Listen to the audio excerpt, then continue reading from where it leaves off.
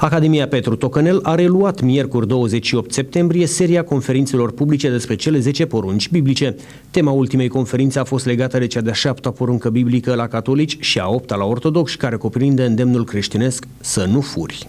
Așa cum uh, bine știți, anul acesta Institutul Teologic Franciscan, prin uh, Academia Petru Tocănel, a încercat să propună romașcanilor și tuturor celor care doresc să cunoască mai mult ce se apropie de sensul sacru al, uh, al poruncilor lui Dumnezeu, cele 10 porunci prin care încercăm să uh, trecem dincolo de sensul legalist, să descoperim sensul sacru al persoanei și mai ales uh, respectul pe care îl dăm lui Dumnezeu prin respectul și demnitatea pe care o acordăm persoanei de lângă noi. Cele 10 porunci biblice sunt, în opinia prelaților, norme de conduită morală imperative, iar încărcarea lor reprezintă un păcat. Cele 10 porunci, uh, suntem la porunca 7 prin care dorim să um, aprofundăm și mai, să dorim să să fim alături de, de cei care vor să cunoască această poruncă, să descoperim demnitatea persoanei și mai ales uh, încrederea și credința pe care Dumne, uh, o dăm lui Dumnezeu, având încredere în providența cu care El ne conduce de fiecare zi. Moderatorul conferinței, preotul Maximilian Pal, a subliniat faptul că poruncile biblice statuează o serie de reguli de ordin moral, de la care omul nu trebuie să se abată fără a fi pedepsit de justiția divină, dar și de cea pământeană. Astă seară vom dezbate o poruncă importantă a decalogului, să nu furi. Este importantă deoarece această poruncă atinge sfera demnității umane. Dacă deschidem Sfânta Scriptură în Cartea Exodului, capitolul 20, versetul 15, în seria celor 10 porunci, astăzi am ajuns la porunca care ne spune foarte clar, dar foarte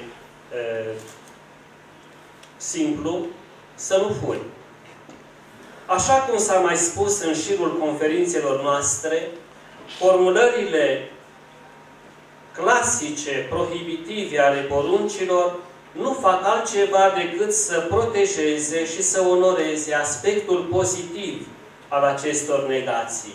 Opusul lor, de pildă, să nu minți, protejează integritatea, să nu ucizi, protejează viața, să nu furi, protejează demnitatea și proprietatea fiecărei persoane. Decanul Facultății de Teologie din cadrul Universității Alexandru Ioan Cuza Iași, profesor conferențian dr. Ștefan Lupu, a adus în discuție o serie de considerații dogmatice legate de cea de șapta poruncă, să nu furi. Ce uh, Dumnezeu a scris această poruncă expres pentru italieni. Ba mai mult decât atât, Chiar a zis-o un italian, non-rubare.